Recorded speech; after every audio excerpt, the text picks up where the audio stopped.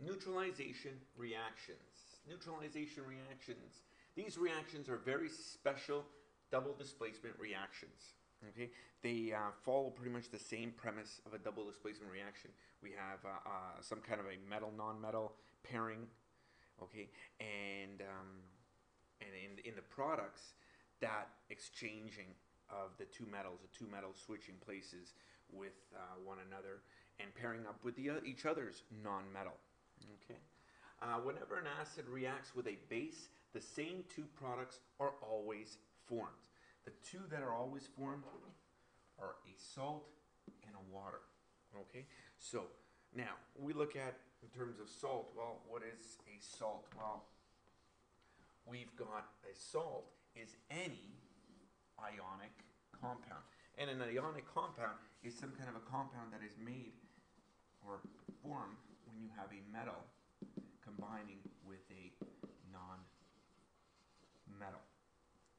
Okay. So here we have an example.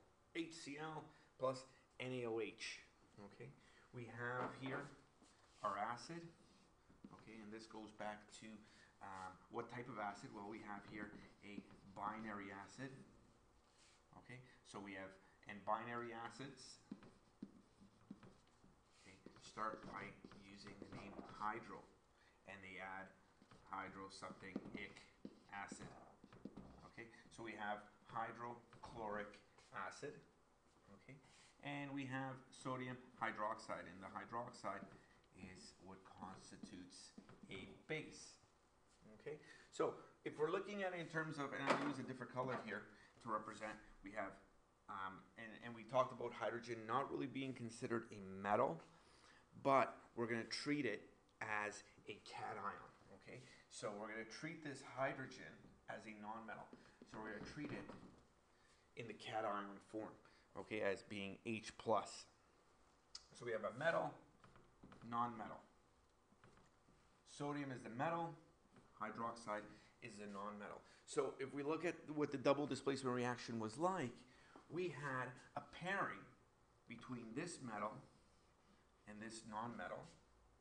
Okay, and we're going to have a pairing between this metal and this non-metal. Okay, in the end, so watch now as the two switch places. What have we formed? Well, we formed here our water. Okay, and we formed our salt. And a salt, as we said, is any ionic compound, metal, non-metal.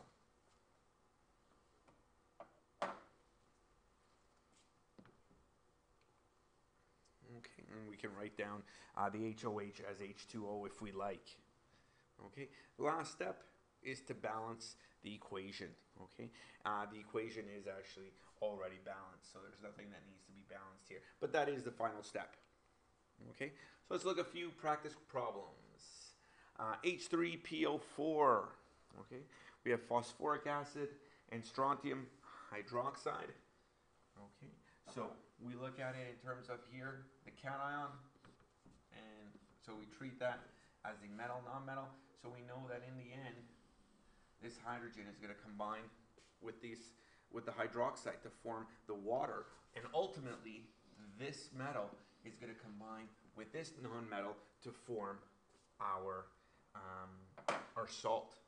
Okay, and then the last step that's left is to balance the equation. The equation is balanced by putting the following coefficients in front of it. Let's look at the next equation. Barium hydroxide and hydrofluoric acid. So here actually now, again, binary acid.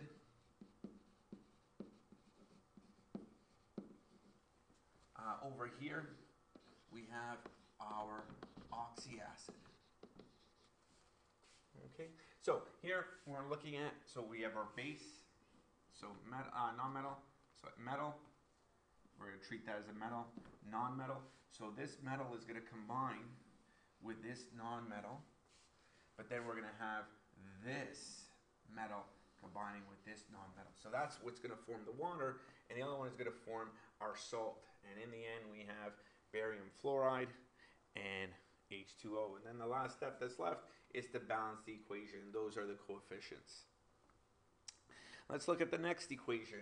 We have sulfuric acid and calcium hydroxide. Same thing, metal, non-metal, metal, non-metal.